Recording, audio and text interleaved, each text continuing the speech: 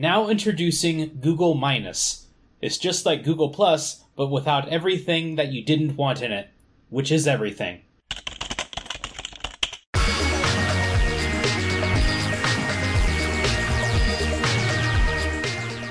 This is Control Structure, episode 149 for October 10th, 2018.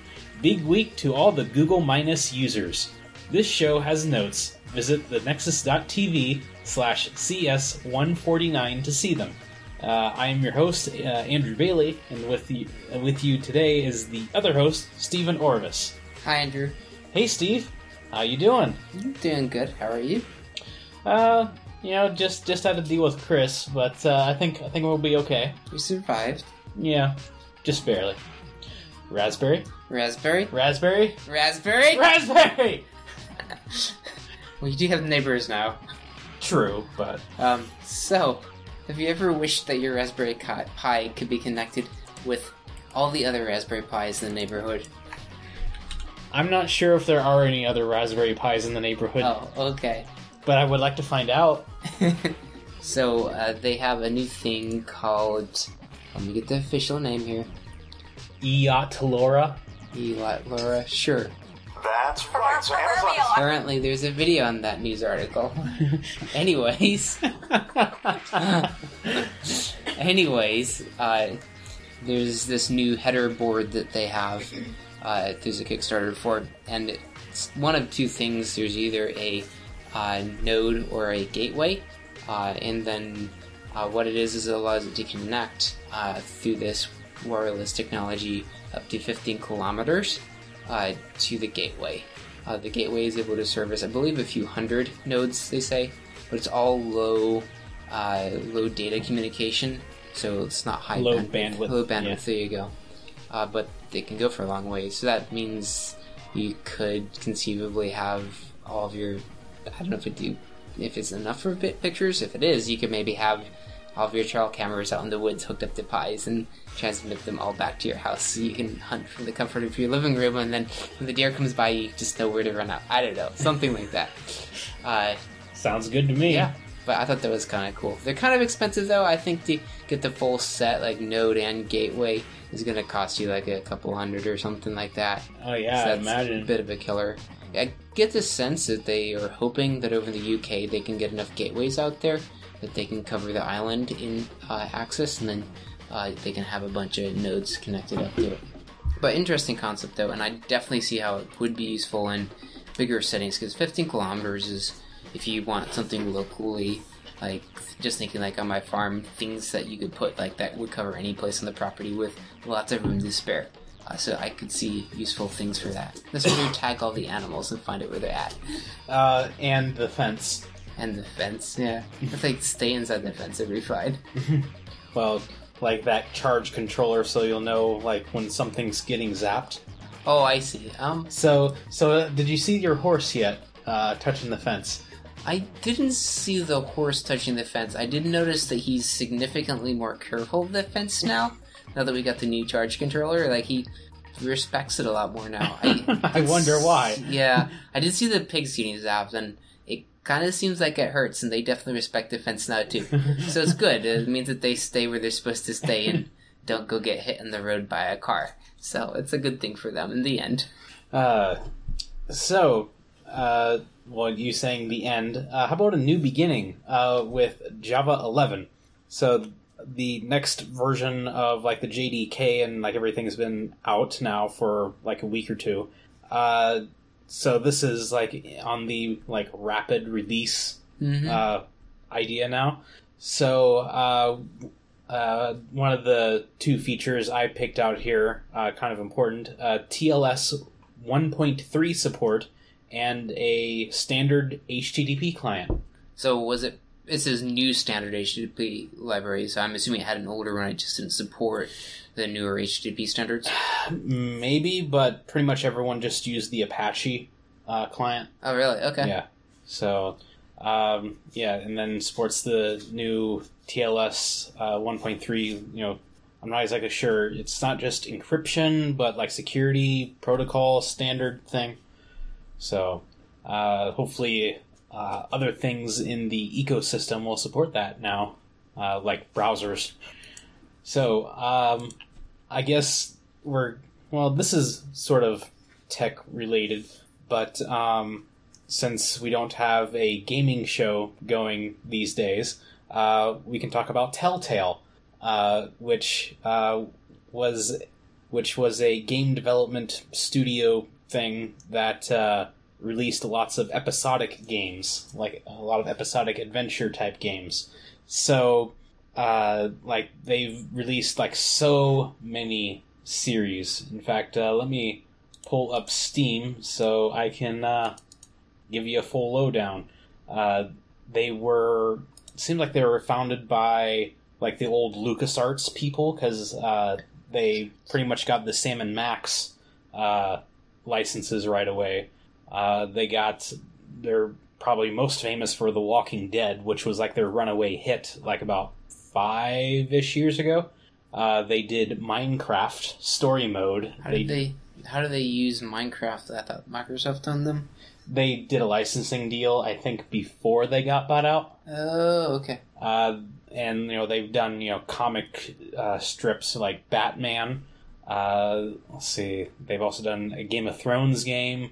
They've done the Borderlands uh, adventure game, and The Wolf Among Us. That was the other sort of comic-ish thing. Uh, they did Poker Night at the Inventory. Uh, let's see, yeah, they did the Strong Bad adventure games. I've heard of Monkey Island. Yeah, that was. I'm pretty sure that was like another LucasArts game from back in the day. Remind me of Lucas Arts. Like it's vaguely familiar. Uh, Star Wars. Star Wars. Hmm. Uh, so yeah, Sam and Max, all those. So yeah, turns out that I have lots of these thanks to a humble bundle. So it turns out that their management wasn't exactly that great, uh, which you know led them to keep on doing more and more and more projects uh, at once, which thus led to pretty much eternal crunch time. You know when things are you know have deadlines and they're approaching and you need to like meet those deadlines. So when you have deadlines all the time, well, you're pretty much dead, uh, to say the least. It seemed like they just reading the article that they were saying that they thought they didn't pay the people the right, but then they were in a really expensive area of town and Well, in perhaps the most expensive area on Earth, that is the San Francisco Bay Area. So, yeah, it's this is like kind of like in general. I think that um, you know, since we're here in the Rust Belt, um, it'll be well, maybe might be fun to see everything on the coast just suddenly have a economic collapse when everyone just puts their foot down and says, "No, we're not paying more for this stuff." So, yeah, I guess uh, Telltale is uh, one of the first to go. Well, one of the first. I think this has been going on for a while, but yeah, stay tuned. looks like they made the Lucas Arts made some cool looking uh sim flight simulation games. At least the the clip art and the titles sound really cool. Of course, so that's kind of normal with games. X Wing. I've played X Wing. Yeah, Pretty sure. yeah, like there was like lots of flight simulators that they made, like actually in Star Wars. Okay. So I was just looking to see what games I recognize because I felt like I should know them, but not Star Wars wasn't what I thought I should know them for. So, but they look like a really really old uh, company. Yeah, The Monkey Island I knew not because I played it, just I don't know whether we've talked about it or someone else has told me about it. So um, that's maybe. interesting. So, anyways, uh, remember DuckDuckGo? You know our favorite search engine. Yes, I use it on my phone. Uh, so DuckDuckGo has had a public traffic graph going, and uh, you'll see this was just recently brought to my attention here, and you can see this hockey stick keeps on getting steeper. It's essentially a exponential growth happening here. So, like you you uh, asked, like, what's a hockey stick graph? I was asking what what caused the hockey stick because oftentimes with hockey sticks there's a cause. In this case, it seems more just gradual growth. Like there's just different events in their favor. So, uh, back uh, when uh, Mr. Snowden said that everyone like the, that the uh, you know the government was spying on everyone, uh, that's when people really started using it. Uh, so that's when I started using Duck Duck Duck Duck Go, and uh, you know later on, you know it's like, hey, this is actually kind of good. So went ahead and uh, you know started using it more for everything. So uh, another search company, Yahoo. You know what they had? Yahoo, the GeoCities, the the way way way back when I wanted to have a website, and so I was trying to find free web hosting. I believe GeoCities was one of the ones, but there's something like they're too addy or something like you had your web page and then like big banner ad there. I'm like, that's not very fun. Yeah. So uh, GeoCities was shut down back in 2009. So why are we talking about it? Because it was everywhere except Japan. And now we know the last GeoCity will close next March. It's very interesting that it's survived that well in Japan. Well, Japan has a very strange uh, relationship with technology. You know, like, you know, they're generally known for being like this, you know, futurist, you know, kind of place like that uh, you know everyone can just nerd out about because you know like the future happens first in Japan because it's like all so advanced. Well, turns out that they that they really like to hold on to their tech. Uh, like there's still fax machines being used a lot over there. Uh, Really? Yeah, like like all sorts of obsolete stuff like in other parts of the world are still used in Japan alongside this like really new fangled stuff. It's it's really weird. That's interesting that they do that. Yeah. So, uh, but you know, with the rest of the world, they do move on, and now GeoCities is closing there too. Hmm. But um, the rest of us have NeoCities, which has been around for a good five years or so, um, without the banner ads. Um, so yeah, the with all these sites closing, a lot there's going to be more broken links around the internet. So, uh, what do you do for that? Well, there's the uh, Internet Archive Wayback Machine, and it has uh, there is apparently a bot going around on Wikipedia that is changing links from like dead links that don't go anywhere to the same link on the Wayback Machine. So there's actually something there. So like the information isn't exactly lost or you know whatever. I thought that was a pretty cool use of the uh, Wayback Machine and bots just to automate that process. I was just thinking that the only slight problem is pages change over time too.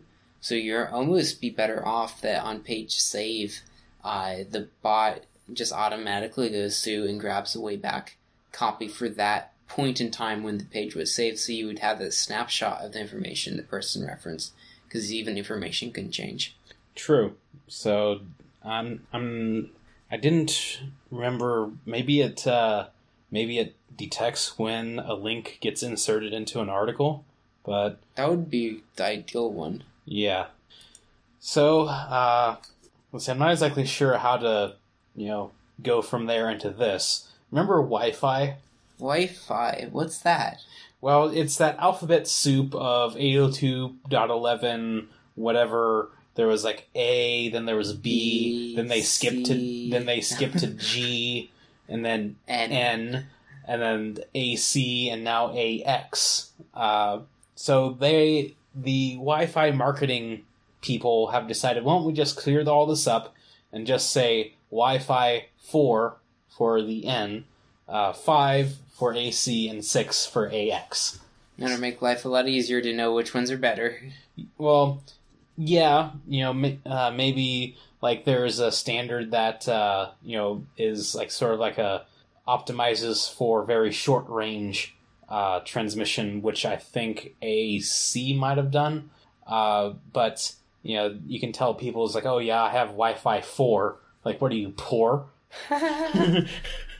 uh, which uh, simplifies things a lot, unlike the mess that USB has become. You you haven't seen what USB has become? I just have 3.0, that's all I know. Uh, well, Don't or- they have or- 3.1 now or 2 or, or something? or do you mean USB 3.1 Gen 1. Oh, see, I haven't I haven't gotten to that mess because I haven't bought a computer for so long. Three's three's like the latest and greatest for me. So, and then there's all sorts of you know features layered on top. It's like, does this plug support charging? Does this plug support a monitor attached to it? Uh, and so forth. Uh, it's a it's become a confusing mix of features that um, you're not even sure if the cable will work for what you want it to work for. Ha! And oh yeah, just because it's a Type C plug does not mean that it's USB three. Well, the blue ones were three. Well, that they did right. well, I mean like the cable, not the plug. The, the end, the end should always be blue. Well, no, like if you have a cable, like a wire Uh-huh. with a plug on the end, those aren't really blue. I always thought they were. The like the plastic inside the port itself is. hmm I thought the cables had blue in them too. I don't know. Maybe not. Well- Maybe okay. My my USB. I thought my there you go. You Okay. have blue inside there. Well, yeah, but this is like an older A type cable. Oh, okay. So, but yeah, like on this side, well, you can sort of tell it's a USB three since it has that extra bit on the end. But uh, see, I thought I had a USB C cable around, but um, yeah, like they're pretty small. Okay. They're almost the size of this. They, Oh, the C the phone does. yeah, like that. Mhm. You can't really tell what color that is if it was colored. I've never seen a phone one colored. So Anyways, so Bloomberg has uh, come out with a report that uh, says that China has pretty much hacked a lot of servers. And what I mean by hacked, ha- they have embedded a tiny chip that uh, essentially phones home. And uh, this this has been like embedded into like supply chain uh, supply chains essentially by like a government official coming to a factory saying you need to put this in or else um, and that's you know how they say get into servers from say supermicro uh, which then get distributed out to say a video encoding company that sells uh, like these specialized encoding servers to people like apple amazon uh, the Department of Defense, the Navy, the CIA, you know, to process all that drone footage. So, like, these things can uh, handle very sensitive material, uh, which you would want to bet that the Chinese government would like to get their hands on, uh, along with other kind of classified information. So, uh, like, the downside is no one else really makes computers anymore. So, uh, of course, pretty much all the companies involved officially deny all of these uh, allegations that, you know, that this article says, like, oh yeah, Apple found these back in 2015, but t- today they're like, what are you talking about? Nothing like that happened. Uh, same with uh, Amazon. Uh, in fact, Apple is so uh, vehemently denying this that they wrote a letter to Congress about it. Um, so just saying that you know we've never you know we've we're always scanning our network looking for suspicious traffic, and we've never you know come across anything that indicated uh, anything like this. So that's the thing is technically you, you should be able to scan the network and see traffic because it's not magic when it phones home it has to make traffic. Yeah. So, upon seeing this article, a security researcher uh, uh, contacted uh, Bloomberg, which was the you know the publisher that you know uh, uh, pub- that you know publish this Mhm. article. For the lack of a better, why did I stumble there? I don't know. Maybe I wanted to be creative There you go. anyway, he contacted Bloomberg, and you know, just to give them more uh, material on this, and he says that he's working for a major U.S. Uh, telecommunications company. He can't say exactly which one because he's under an NDA, and he can confirm that yes, these things are real. In fact, he's found a slightly different uh, chip in what like essentially he said like a Ethernet uh, port. Hmm. Uh, he says that you know you know these ports are you know kind of strange because they're covered in metal rather than the usual plastic.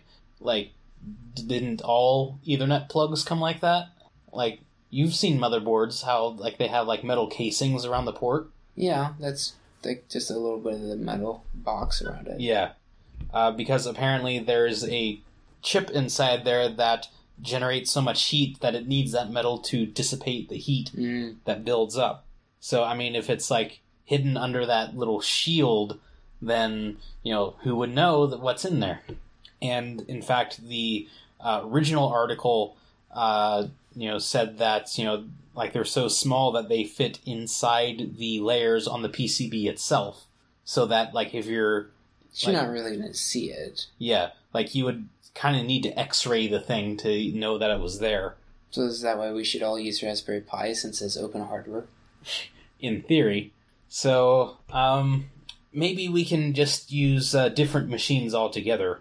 Uh, so uh, over well, over the past few shows, we've mentioned uh, was it uh, Raptor Computing, which is trying to uh, build uh, systems around the Power Nine CPUs, like IBM CPUs, Mm. rather than Intel or AMD type systems.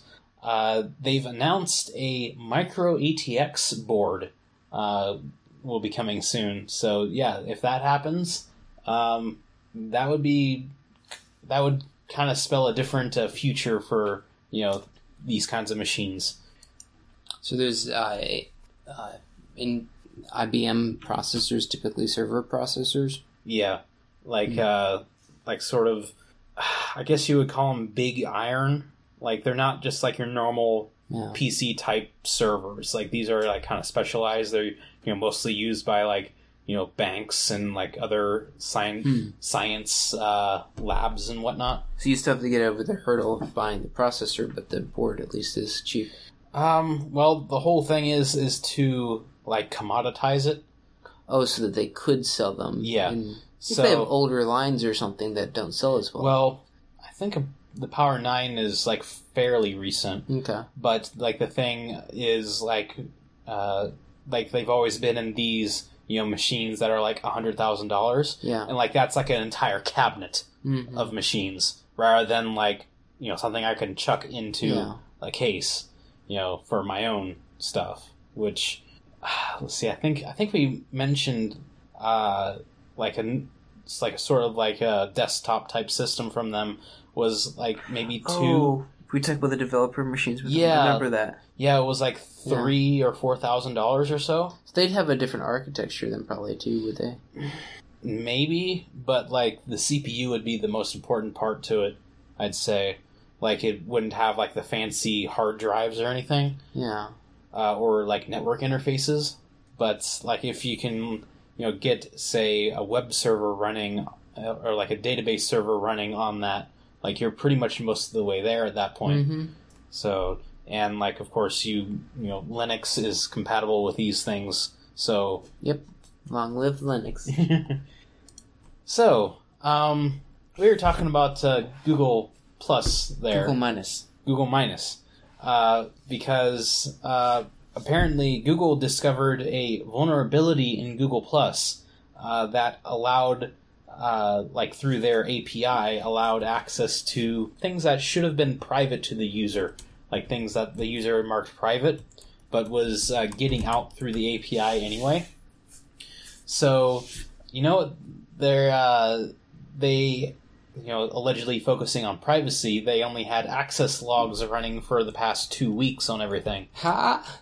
Oh, okay. So when they say that they've known about this since March, and they say that they don't think that anyone has accessed the system, they mean to say that No one's no one's done it in the past two weeks. even though it's been open since March and they knew it. Yeah. Well, they. I think. Let's see. When do they fix this? Uh, so something about March. They discovered it or fixed it or whatever. Um, but um, they only publicly came out about it now because you know what they're doing. They do what Google always does to things. They kill it. Ah, everything's beta or dead. yep. So Google Plus ain't in beta, so they're killing it. That's how that works. Uh, of course, uh, the suspicious part is they say for consumers. The rumor hmm. is that they'll still keep it for internal purposes. It was mentioning someplace in there how for enterprise, how it's actually not a bad tool in that case because they can set enterprise wide standards on it and such. I've never found enterprise social media that useful. We tried Yammer once briefly, like there was a couple people who were interested in it, but I was like, why do I want social media Facebook for work? I don't know why. Isn't that kind of what LinkedIn is for? No, it's like different. So imagine Facebook, but Facebook as in, hey, I'm starting a new project and I'm doing this research, guys, and I put it on my wall, and people would comment like, hey, you should check out this link over here, and, and someone posted this video over here that's useful, and like imagine social media for at work stuff. Huh. Uh, that's what the vision was. I didn't quite get that excitement about it though. So, um, talking about mistakes and bugs, uh, how about when I talk about Windows 10? Uh, they were supposed to be rolling out an update to Windows 10 about now, and they actually started, uh, but then they stopped it because they realized that uh, this update was deleting people's files. Why is that? I don't think this is the first time Windows has done this. Um, because Windows has been a thing for like mm, almost 35 years. I'm pretty sure there. I remember something with XP or ME or something back there. There's an update that did something like this. So uh, suddenly, uh, people wake up in the morning and start using their computers, and um, things aren't the way they were. So, uh, you know, Microsoft has stopped, you know, pushing out the update, and they're trying to figure out what's going wrong. So maybe when I update, files won't be won't will not be gone. Here, upload the podcast first. Yes. Anyways, I haven't updated Windows 10 for a very long time, so I'm safe. Yeah, because you don't use Windows 10. That's correct. It's on the partition. I could technically dual boot into it, but I haven't for probably a year or so. I don't know. Something like that. Awesome. So uh, don't forget that you can contact us on Google Minus. nope. Uh, yeah, pretty much uh, no one has used Google Plus in a long time. Uh, like even even uh, Buckface and uh, Studio Guy, like back in the day, yeah, they were all on Google Plus, but they haven't used it in like a year. So take that. Uh, but seriously, you can submit uh, feedback to us on Reddit, or you can go ahead and I think we still have that link on the the podcast show notes page. Uh, and don't forget that today is International Backup Awareness Day, so back up all your stuff before Windows eats it. There you go. All right. So, uh, doing anything exciting? Uh, lately the most exciting thing I've done is teaching the the, the pigs how to eat black walnuts. It's actually kind of working. You take a hammer, you crunch the black walnut just a bit, and you throw it in with the rest of their feed. And then after they eat the rest of the feed, they kind of maybe a little bit eat at the black walnuts. And you kind of crunch, crunch, crunch, and they sometimes eat it down. So it's kind of funny. Maybe someday they'll eat black walnuts without having to ham- hammer them first. so yeah, that's my my exciting thing. So, let's see. Uh, I don't have any critter experience like you have. like I, I don't think I've uh, seen any turkeys around here recently. It'll be turkey season soon. I think beginning of November, sometime in then. Yeah. Uh, with your, uh, was it your musket or your front loader or something? The muzzle loader. Yeah, yeah, yeah. Uh, that'll be deer season. Will be, I think, not this Saturday, but the next Saturday, I believe. Uh, speaking of which, I will be over at the Circleville Pumpkin Show. Is that the one where they launch the pumpkins? I don't think so. Oh, okay. Someplace somewhere there's a place where they have like this big old junk car out in the field, and they have this giant pumpkin launcher, and then they shoot like you know however many hundred pound pumpkins at the car in the field. Like, I always thought that was kind of cool. Yeah, this this city doesn't have enough open space for that. Oh, okay. like it's just like a downtown, small town kind of thing. So, um, yeah. So, let's see. Yeah, I've been, uh, you know, doing a few tweaks to my blog. I've finally got around to uh, finishing Riven, uh, the sequel to Myst, Um, so yeah, I'll probably be going through the other Myst games pretty soon. Myst is the one with the books that you open and go from between worlds. Yes. Okay, got that one right.